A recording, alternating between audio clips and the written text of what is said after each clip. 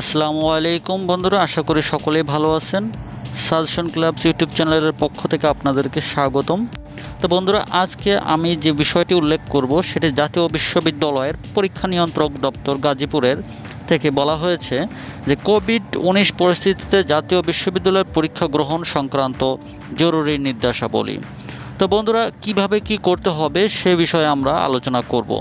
তো বন্ধুরা, তার আগে নিচের স্ক্রিনে দেখছেন যে কোভিড উনিশ পরিস্থিতিতে জাতীয় বিশ্ববিদ্যালয়ে পরীক্ষা গ্রহণ সংক্রান্ত জরুরি নির্দেশাবলী।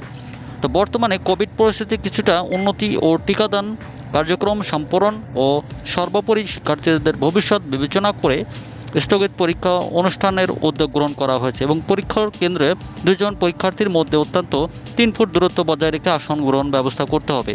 এ প্রয়োজনীয় ব্যবস্থা কর্তৃপক্ষ গ্রহণ করবে। তো বন্ধুরা বুঝতেই পারছেন কীভাবে কি করতে হবে। তো দেখতে পাচ্ছেন এটি জাতীয় বিশ্ববিদ্যালয়ের একটি নোটিশ, এখানে আমি দেখাচ্ছি আপনাদেরকে পড়ে যে এখানে কি বলা হয়েছে। তো সংশ্লিষ্ট সকলকে জানানো যাচ্ছে যে দেশের কোভিড পরিস্থিতি অবনতি হওয়ার কারণে যে পরীক্ষাটি দুই হাজার একুশ সালে মার্চ স্থগিত করা হয়েছিল, সেটি আবার নেওয়া শুরু হতে পারে। তো এর প্রেক্ষিতে দেখুন কতে বলা হয়েছে যে দুজন পরীক্ষার্থীর মধ্যে তিন ফুট বজায় রাখতে হবে এবং আসন বিন্যাস এক অথবা দুইয়ের অনুযায়ী পরীক্ষা নিতে হবে। যে আসন বিন্যাস দেখুন, যে মাঝখানে একের যেটি রয়েছে, সেখানে খালি এক পাশে মাঝখানে রয়েছে এবং দুই পাশে আপনারা দেখতে পাচ্ছেন যে দুটি করে মানুষ বসানোর জন্য স্থাপন করা হয়েছে এবং পরের বেঞ্চি খালি দেখানো হয়েছে।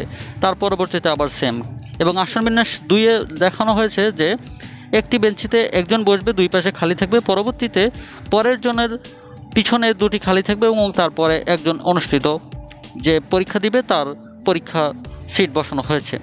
তো এটি হলো আসন বিন্যাসের নমুনা এবং খতে বলা হয়েছে যে প্রত্যেককে প্রত্যেক শিক্ষক, পরীক্ষার্থী, কর্মকর্তা, কর্মচারীকে মাস্ক অবশ্যই পরিধান করতে হবে এবং সাবান পানির ব্যবস্থা করতে হবে।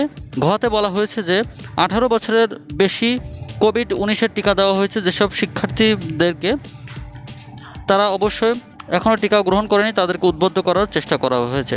তো বন্ধুরা এইটি ছিল বর্তমানে আপডেট নিউজ। জাতীয় বিশ্ববিদ্যালয় পরীক্ষক নিয়ন্ত্রক দপ্তর থেকে প্রকাশিত হয়েছে কিছুক্ষণ আগেই। তো আপনাদেরকে দেওয়া হলো। আর এটি পরীক্ষক নিয়ন্ত্রক দেখতেই পাচ্ছেন যে বদরুজ্জামানের সাইন আছে আজকে, উনত্রিশে আট দুই হাজার একুশ। এর।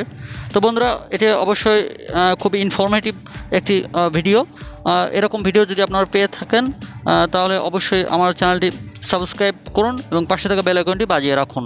ধন্যবাদ সকলে, ভালো থাকবেন, সুস্থ থাকবেন, খোদা হাফেজ।